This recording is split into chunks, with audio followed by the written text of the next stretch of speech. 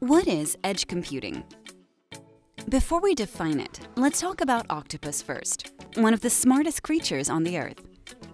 As invertebrates, they have many neurons, but 60% are distributed on their legs, and the remaining 40% are on their brain. With this distributed computing of multiple cerebellums plus one brains, they are nimble and fast.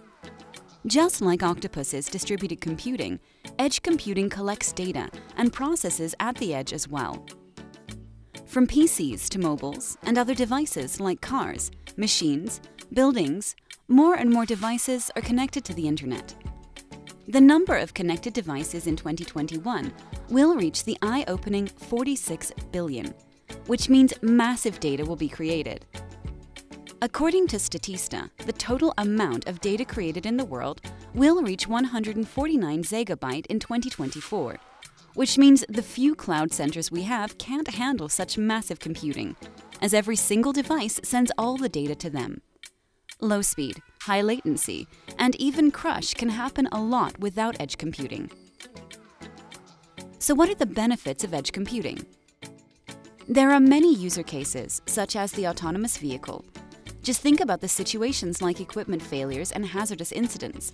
They're call for the instantaneous analysis of data. What would happen if the internet is unstable in a remote area? It'll take too long to get the instructions from the cloud back to the car. However, with edge computing, it can process the data locally that is coming in real time with fast speed, low latency, and avoid possible accidents.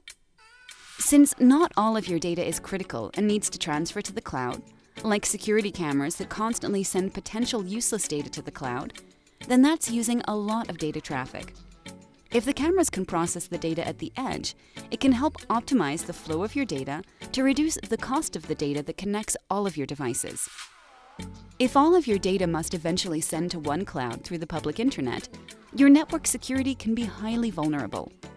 As the more data transfer, the easier they can be intercepted. When you distribute data by edge computing, you distribute the risk as well. What about privacy? As less data is uploaded to the cloud, you will have more control over your personal data. Imagine if your Google Home speaker could respond to your weather forecast requests without sending data to Google server. Then they would have less personal information of you. Even though these companies are unlikely to give up collecting our information, but with edge computing, we at least have more freedom to choose. Thanks for watching. Make sure to subscribe InHand Network's YouTube channel right now. Just click on the subscribe button right here.